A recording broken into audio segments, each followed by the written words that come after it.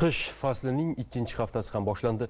Yangi yil eshik qoqmoqda. Bayramni hammadan ko'ra bolajonlar orziqib kutadi. Lekin pirotexnika vositalarining oldi sottisi avj oladigan ayni kunlarda ota onalar farzandlarining xatti harakatiga nisbatan nazoratni yanada kuchaytirishi talab etiladi.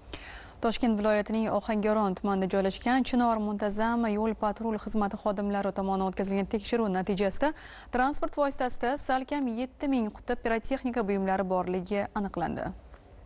Toshkent viloyati ichki ishlar bosh boshqarmasi xodimlari noqonuniy ravishda olib ketilayotgan pirotexnika vositalarini aniqlash ishlariga alohida e'tibor qaratishmoqda.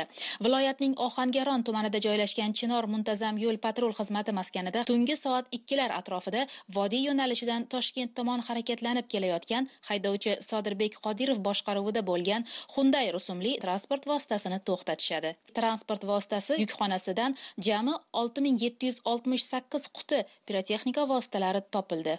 Shu o'rinda eslatma pirotexnika vositalarini saqlash ishlab chiqish tashish jo'natish foydalanish respublika hududiga noqonuniy yo'llar bilan olib kirish olib chiqish yoki o'tkazish. Bunday noqonuniy pirotexnika vositalari bilan shug'ullangan shaxslarga nisbatan o'zbekiston respublikasi ma'muriy javobgarlik to'g'risidagi kodeksning bir yuz sakson besh prim bir moddasiga asosan huquqbuzarlik ashyolari musodara qilinib bazaviy hisoblash miqdorining besh baravaridan yigirma baravarigacha jarima solinadi.